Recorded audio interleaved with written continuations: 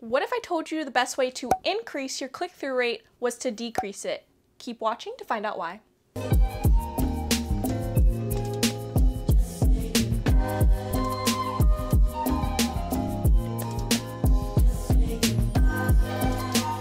Hello, beautiful souls. Welcome or welcome back to my channel. My name is Brielle. I am a brand strategist where I help young entrepreneurs turn their passions into profitable businesses. Make sure you subscribe down below if you haven't already, and make sure you hit the bell so you never miss a video. Today I'm going to be sharing with you all about what a click-through rate is, how to increase it, and why you need to decrease it. Trust me, it'll make sense in a second. First, let's answer the question, what is a click-through rate?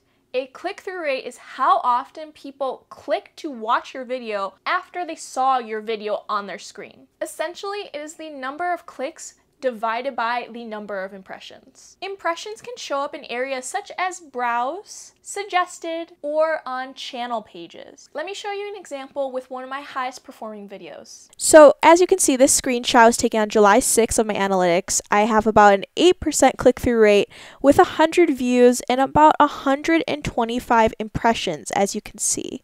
Then from the same video, I took a screenshot on July 9th. You see I have a 5.7% click-through rate with then 193 impressions and now having 104 views. So as you can see here, my click-through rate actually went down but my reach went up. Same screenshot was taken a day later, and I now have a 5.6% click through rate, still with 104 views, but now I have 196 impressions. So here's the big question What is a good click through rate?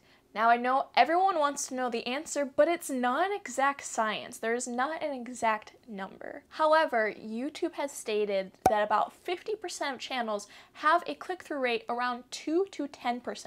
Click through rates can depend on multiple factors, so it's not exactly easy to figure out the exact click through rate people should have on their channels. So then what factors play into a click-through rate? The main factors that you will see for your click-through rate are your tags, titles, and thumbnails. If you'd like to learn more on how to make better thumbnails to get more views, make sure you watch the video above. So then why am I talking about having a low click-through rate? You may be dealing with one of two scenarios. Scenario number one is that you're not having people interested in clicking on your video. Or scenario number two, you are getting higher amount of views, you're getting a higher level of exposure, therefore a lower click-through rate. Let's focus on scenario number two for a moment. You want to gain more views on your videos because besides having, well, more views on your videos, your videos are then be shown to a wider audience. So therefore, having a low click-through rate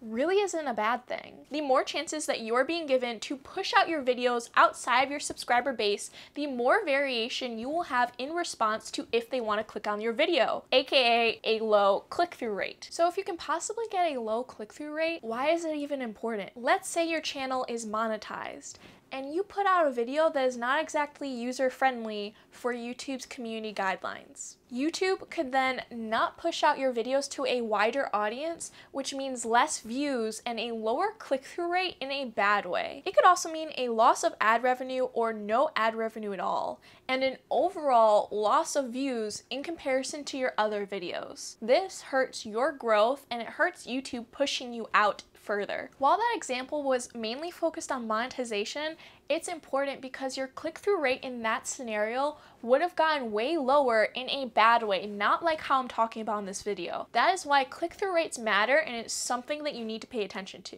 So now that you understand this scenario and how click-through rates work, Let's go back to scenario number one for a second. In scenario number one, people might not be clicking on your videos because they're not interested in your videos. So how can we fix that? My first tip to you is to start with your thumbnails. They are the first thing people see before clicking on your videos. So if you want to change up your strategy to see if you will get a higher click-through rate, I would suggest then posting a new thumbnail within 48 to 72 hours after your video. The reason that I'm talking about doing it in between that time frame is because YouTube really pays attention to how your video performs within the first 24 hours. So you really want to give it that time to really see how it's doing and get a better sense of the video before you change anything up. If you are curious to know what mistakes you might be making with your thumbnails, make sure you watch the video above. One thing to keep in mind is to watch your analytics. YouTube pushes out your videos first to your subscriber base.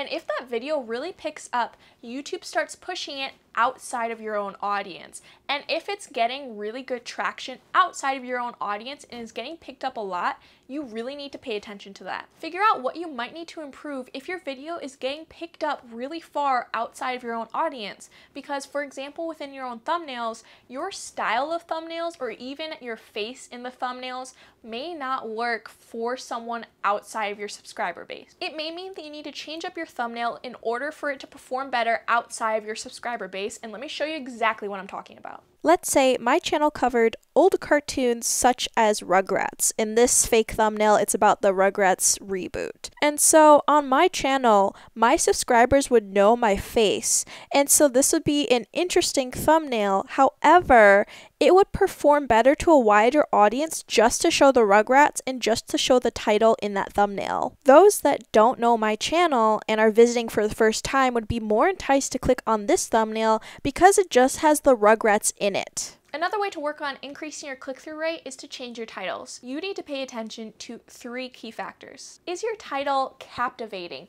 Is there a reason that it draws you in? Because a lot of videos on YouTube get made over and over again but there's a reason that you clicked on that video. Next is your title searchable. Is it something that when someone search how to do it or a topic of that sort, will it pop up in search? Finally, is your video going to provide value? Because when somebody reads that title, they want to know they're going to get something out of it. For example, if somebody showed a video on their weight loss journey with healthy eating, if that was somehow incorporated within the title, they know what they're getting out of watching that video. You want to pay attention to the two most important things, and that is your titles and your thumbnails. Those are vital to pay attention to how they perform. So then going back to the statement that I made at the beginning of this video, what if I told you the best way to increase your click-through rate was to decrease it? Why am I sharing about increasing your CTR if I was talking about why it's important to decrease it? Let me put it this way. If you first learn how to improve and increase your CTR, then YouTube will then push out your video to a wider audience, which like I mentioned earlier in this video, is actually a good thing you are reaching more and more people. That is more and more opportunities for somebody to click on your video and subscribe to you later on. So what areas do you need to work on with your CTR? Make sure to comment them below. That is all for today. If you got value out of this video, make sure to hit the like button as that supports my channel and I know you enjoyed the video. Also make sure you subscribe to see more videos. Increase your click-through rate what blah, blah, blah. first mess up to people outside of your subscribe those outside of your subscriber va base, outside of your subscriber base, we all have a subscriber base. To push out your videos outside of your subscriber base, base, I keep saying base, to push out your videos outside of your subscriber base, I just want to say I finally got that. It took me like I think two minutes probably. No ad revenue is to watch your analytics, really, your titles. You need to focus on key